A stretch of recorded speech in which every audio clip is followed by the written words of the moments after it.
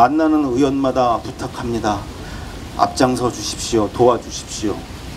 돌아오는 대답은 약속이나 한 듯이 한 가지입니다. 네, 관심 가지고 있습니다. 그런데 박주민 의원이 열심히 뛰고 있잖아요. 잘 될 겁니다. 아니, 한 사람의 국회의원이 할 수 있는 것 없다는 건 너무나 잘 아는 사람들이 대놓고 유가족들에게 박주민 의원이 열심히 뛰고 있는데 잘 되겠죠. 그 뒤에 또 숨어버리는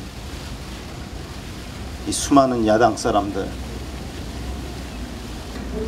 과반수가 돼야 할 수 있다고 그래서 과반수를 만들어 줬더니 불과 며칠 지나지 않아서 우리에게 하는 말은 180석이 안 돼서 할 수가 없다는 대답뿐이었습니다. 국회 선진화법 때문에 할 수 있는 게 없다고 했습니다. 과연 이 야당에게 우리는 희망을 걸 수 있는 것인가? 아니, 희망을 걸고 싶어 하는 것이 맞는 것인가?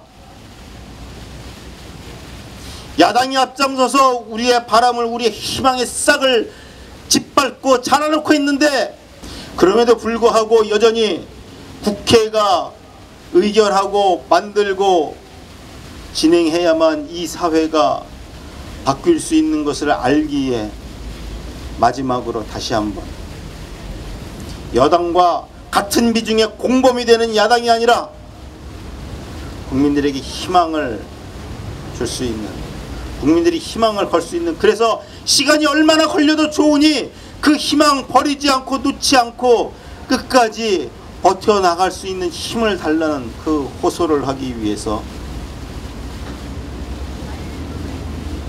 무기한 단식이 아니라 죽을 때까지 단식을 하기로 마음을 먹고 나왔습니다.